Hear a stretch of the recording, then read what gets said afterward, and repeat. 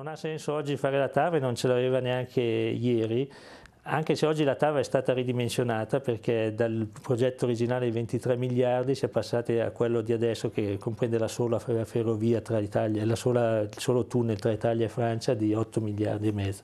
di cui l'Italia pagherà probabilmente 3 miliardi e mezzo o 4 e mezzo. Le previsioni in passato dicevano che il traffico merci sarebbe aumentato esponenzialmente, in realtà si è dimezzato, nel, nel, dieci anni fa era 10 milioni di tonnellate, adesso è 4 milioni. Quindi questa domanda semplicemente non c'è, la TAV è enormemente sovradimensionata, quella attuale basta e avanza. Per i passeggeri eh, il, il, il traffico passeggeri è minimo e in ogni caso si risparmia un'ora con il nuovo progetto. In più si parla anche del risparmio in termini di eh, inquinamento, ma eh, si, ci si dimentica che l'inquinamento eh, del cantiere dovuto alla costruzione della TAP sarà enorme e anche ignorando questo i conti che sono stati fatti è che diminuirà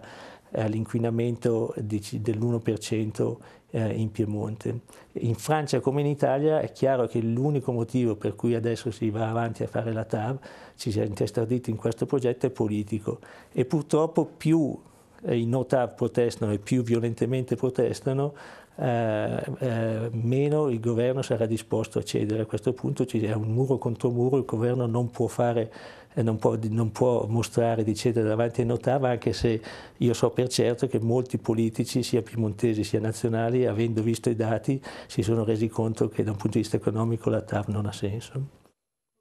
Andremo avanti nei giorni prossimi a elencare le buone ragioni per mettere in discussione la realizzazione di quest'opera.